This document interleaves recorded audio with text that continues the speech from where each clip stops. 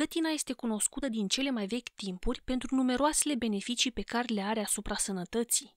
Provine din Asia Centrală și este un arbust ale cărui frunze și flori apar la începutul primăverii.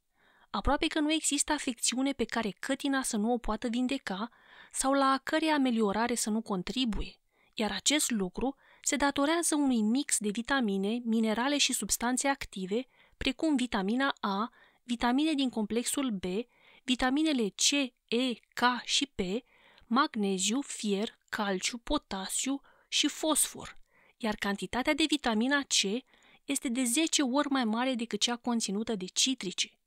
Conține de asemenea beta-caroten într-o concentrație mai mare decât se găsește în morcovi. Numită de specialiști și ginsengul românesc, cătina este un leac minune pentru organism.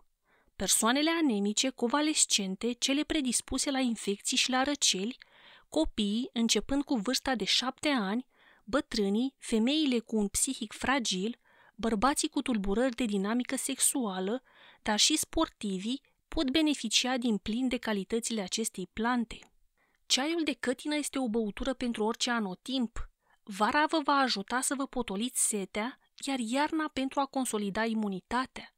Pentru prepararea infuziei, poți cumpăra fructe uscate de la magazinele de profil sau poți usca chiar tu fructele în cuptor până când acestea se stafidesc și își modifică puțin culoarea. Astfel, pentru infuzia de cătină, ai nevoie de una sau două lingurițe de fructe uscate, peste care se adaugă 250 de ml de apă clocotită, se menține timp de 15 minute la temperatura camerei, iar apoi se strecoară și se bea pe stomacul gol. Se îndulcește cu miere. Se administrează 3 căni de infuzie pe zi, cu 30 de minute înainte de masă. În cazul administrării îndelungate, la fiecare 6 săptămâni, se fac 10 zile de pauză. Iată care sunt beneficiile și contraindicațiile ceaiului de cătină pentru sănătate. Ceaiul de cătină este excelent pentru întărirea sistemului imunitar. Cel mai des, cătina este întrebuințată la tratarea răcelilor și a virozelor respiratorii, având un mare aport de vitamine și substanțe ce întăresc sistemul imunitar și ajută organismul în lupta împotriva virusilor. Cătina conține o cantitate foarte mare de vitamina C, un antioxidant care protejează mucoasele și pielea de acțiunea nocivă a radicalilor liberi și este un foarte bun stimulent care crește imunitatea. O cană de ceai băută zilnic la începutul sezonului rece te va apăra de răcel și gripe. Ceaiul de cătină este benefic în anumite afecțiuni cardiovasculare, deoarece fluidizează sângele, facilitează circulația acestuia, reduce nivelul de colesterol și păstrează arterele curate și sănătoase. Specialiștii le recomandă și în cazuri de afecțiuni gastrice pentru reducerea disconfortului, mai ales în cazul balonării și durerilor difuze generate de aceasta în cazul afecțiunilor hepatice, datorită rolului antiinflamator și de susținere a regenerării. Tot datorită efectului antiinflamator, ceaiul de cătină se administrează pentru durerile articulare, în reumatism sau artroză, dar poate calma și spasmele abdominale sau durerile de cap. Poți folosi ceaiul de cătină și pentru detoxifiere, pentru energizare și îmbunătățirea stării de spirit. Dacă în urma analizelor ți-a fost depistată o carență de fier și ești anemică sau riști o anemie, cel puțin o lună, bea zilnic ceai de cătină, mănâncă 30 de grame de fructe de cătină proaspete sau ia două lingurițe de sirop. Cătina este plină de antioxidanți puternici ce ajută la neutralizarea radicalilor liberi, a substanțelor toxice preluate din mediu, prevenind astfel apariția celulelor canceroase.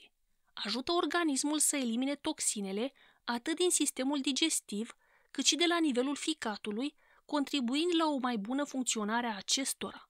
Datorită conținutului bogat de antioxidanți, vitamine și minerale, terapia cu cătină are rezultate spectaculoase în combaterea depresiei. Datorită conținutului ridicat de substanțe antioxidante, ceaiul de cătină îi conferă pielii suplețe, întărește unghiile și previne căderea părului. În plus, afecțiuni ale pielii ca acnea, psoriazis, dermatită, erupții cutanate sau exeme pot fi ameliorate cu comprese cu ceai de cătină. Contraindicații Ceaiul de cătină nu este recomandat după ora 3-4 după amiaza din cauza efectelor energizante puternice. De altfel, femeile însărcinate sau care alăptează și persoanele care suferă de astm bronșic, diaree cronică sau pancreatită nu pot consuma acest ceai. Dacă suferi de anumite boli cronice caracterizate prin multiple restricții, discută cu medicul tău înainte de a bea ceai de cătină. Întrucât ceaiul de cătină îngreunează coagularea sângelui, acesta este contraindicat cu cel puțin două săptămâni înainte de o intervenție chirurgicală, întrucât crește riscul de sângerări abundente. De asemenea, ceaiul de cătină nu trebuie să fie consumat în timpul administrării unui tratament anticoagulant.